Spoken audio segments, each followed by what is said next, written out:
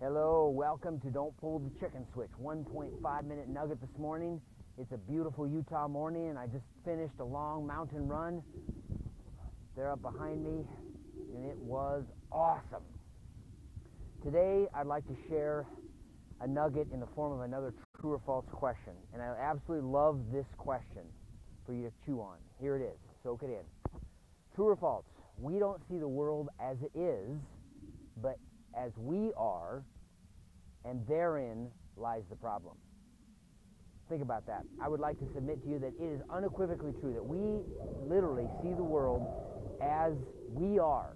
However, that shows up through a lifetime of learning, experiences, wise, unwise, good and bad. We literally see the world as we are and not necessarily as it is.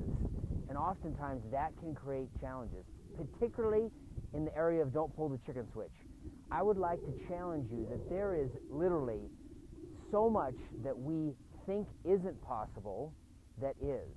That because of the way that we see the world, we see personally, professionally, spiritually, socially, mentally, physically, and for me, especially physically, we see things as not possible.